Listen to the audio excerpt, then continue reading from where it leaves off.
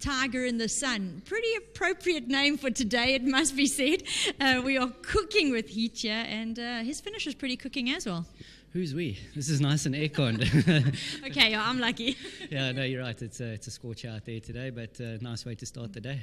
It certainly is. And uh, he came from quite a way off. I am always caught out by the angle, so I'd rather get your opinion on it. But there were a good couple of lengths between you and the front two horses at one stage. Yes, there was. Um, you know, he gave away a lot of start. He actually broke on terms, but then had no speed thereafter. Um, I just allowed him to find his feet. You know, these 800 meter scurries are tricky, and if you try and ask an inexperienced horse to get going early, then sometimes it's uh, you know they can get there and then peter out. So I thought, well, I'll try let him build into it and see if I can have one crack at them.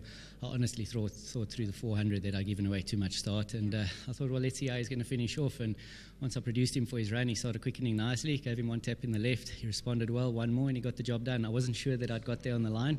It was pretty yeah. close, but uh, glad to see the result go up.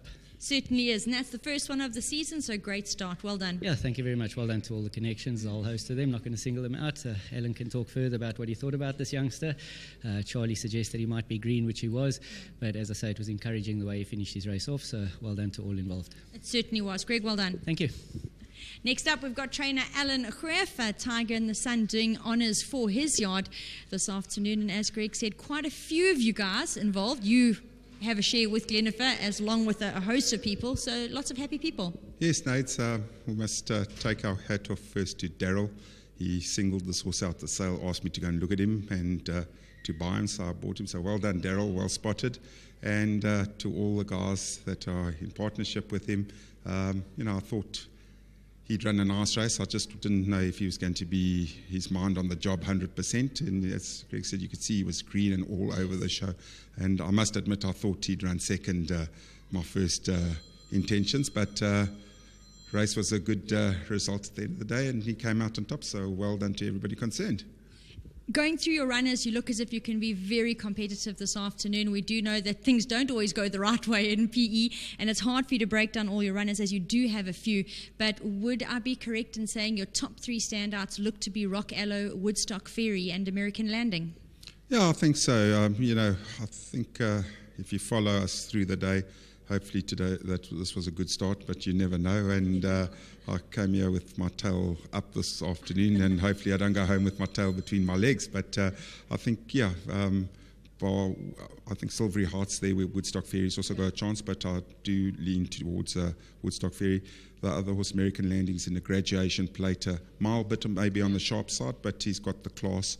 Uh, Racine and um, Atlantis Deamore have done nothing wrong in their races, and uh, you know, um, hopefully all goes well. Um, so we'll just hold thumbs for the day. Most definitely. Now, to put an even bigger smile on your face, it is the first leg of the Bloodstock SA Value Added Bonus Series. And there is, of course, that extra incentive for trainer and owner. So, very well done to uh, Alan and all the compatriots involved in that extra 60,000. Well, you know, it's a great uh, initiative by Bloodstock South Africa. And uh, tick the box, and uh, hopefully, you collect the cash. So, well done to them. Thanks, boys. Well done. Thank you. Alan certainly has collected the cash this afternoon. And uh, with that, we're on to please call in Mr. Rian Hanekom to join me here. And this race was sponsored by BNI. And tell us a little bit what is BNI? What does it stand for? BNI stands for Business Network International. It's a global organization and um, it's in every, basically every country around the world. And it's a platform where business owners can market their, their business um, through a structured environment. That's fantastic. And who all can benefit from BNI? Any business owner that um, would like to market their business in the 21st century, because word of mouth, word of mouth business is not actually taught anywhere. So, so we actually provide that platform globally where people can um, come and market their business um, through BNI. Well, it's great to have you this afternoon. Thank you very much for getting involved and sponsoring and for answering all the questions. Thanks for having me. Thank you. There you go, Mr. Hanekom there from BNI, sponsors of our first race this afternoon. Great to hear a little bit more about them and great to get the first baby race of the season underway. They are so exciting and there's definitely more of a vibe on course when the babies step out for the first time. And very well done to Tiger in the Sun, as I mentioned, very aptly named this afternoon for taking the first one.